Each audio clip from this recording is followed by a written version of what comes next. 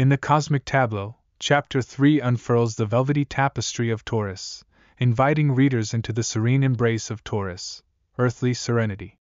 This chapter is more than a celestial exploration, it's an odyssey into the tranquil landscapes of the bull's energy, where the mantra becomes a conduit for grounding and cultivating inner harmony. As the cosmic symphony plays on, the chapter gently guides readers through the labyrinth of Taurus essence, emphasizing the mantra's role as a harmonizing force that resonates with the earthy vibrations of the bull.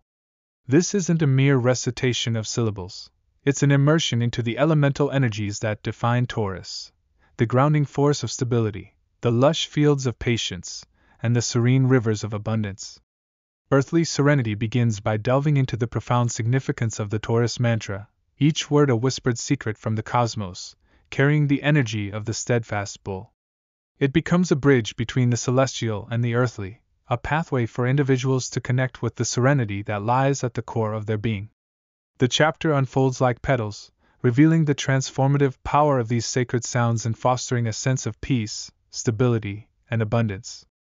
The mantra is not just a linguistic expression, it is an invitation to commune with the grounding forces of the universe. Readers are encouraged to envision the bull's steady gaze, embodying the patience to navigate life's challenges and the resilience to stand firm in the face of storms. Through anecdotes and ancient wisdom, the chapter illuminates how the Taurus mantra transcends time, echoing the footsteps of those who walked the path of earthly serenity before us. As the cosmic journey deepens, the chapter explores the historical roots of the Taurus mantra, tracing its lineage through the annals of astrological wisdom. From ancient sages who deciphered the language of the stars to contemporary seekers finding solace in the bull's embrace, the mantra becomes a timeless echo that reverberates through the ages. Earthly Serenity extends an invitation to readers to attune themselves to the grounding frequencies of Taurus encouraging them to navigate life's complexities with a calm and steadfast spirit.